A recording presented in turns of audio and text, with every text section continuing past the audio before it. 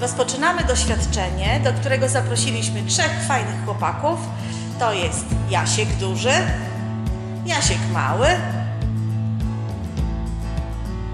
i Dawid. Dzisiaj chcemy Wam pokazać, że niekoniecznie musimy kupować wodę w plastikowych butelkach. Możemy pić wodę z kranu. Ewentualnie można ją przefiltrować. Do naszego doświadczenia potrzebujemy czystą wodę z kranu, szklanki, barwnik, może to być atrament albo farbka, węgiel z apteki, watę i lejki. Do dwóch szklanek nalewamy taką samą ilość wody.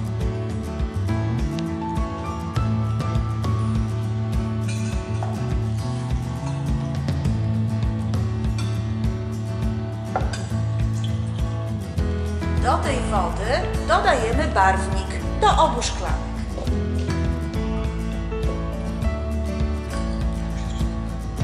Do jednej ze szklanek z zabarwioną wodą wrzucimy teraz węgiel i dokładnie wymieszamy.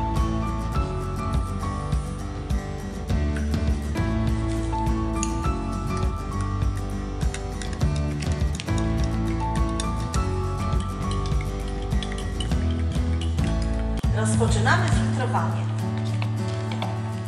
Lejek z filtrem wkładamy do szklanki i najpierw przelewamy niebieską wodę. Woda ciągle jest niebieska. Niestety ten filtr nie zadziałał.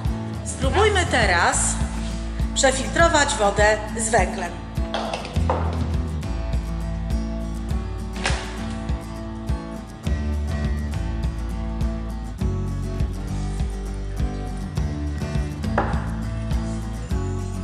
Eksperyment zadziałał, ponieważ pozbyliśmy się zanieczyszczenia, jakim było niebieskie zabarwienie wody.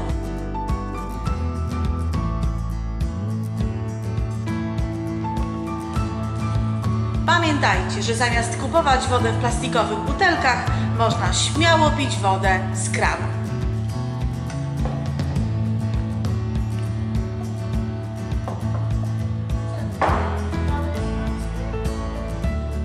I should.